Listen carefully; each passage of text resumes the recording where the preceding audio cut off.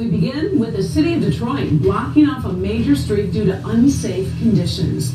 This vacant building has been a problem for years and it's only getting worse. We're talking about bricks falling off of the building, crashing 100 feet below on East Warren Avenue. Tim Pamplin on the scene with an iCam. Tim. When masonry started falling off this old warehouse along Warren Avenue, the city knew they had to shut the avenue down. The best way to see this damage is from drone 4, 100 feet up in the air.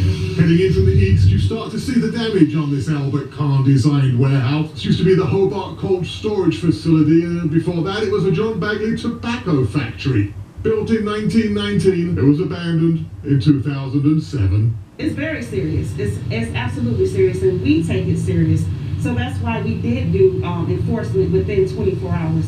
Yes, the rules of government usually turn slowly, but in this case, within a day, the tickets were being issued and Warren Avenue shut down. We immediately issued blight violations. We contacted DPW so that they could come out and block off the street so that pedestrians or passing vehicles would not be injured by the falling bricks. As we tilt down on drone 4, the masonry crashing through that temporary sidewalk cover, the city has given the owner three days to get this situation rectified and has asked the neighborhood who have been inconvenienced by this road closure for patience. We understand it's not convenient and we apologize to the citizens of Detroit that live in that area, but we are doing this for your safety. What we don't want to see is anyone injured from this situation. East Warren is closed between St. Aubin and Russell. Will be for the foreseeable future until the owner can get this building taken care of. That's the scene on the east side with the night cam. Tim Pamplin, Local 4.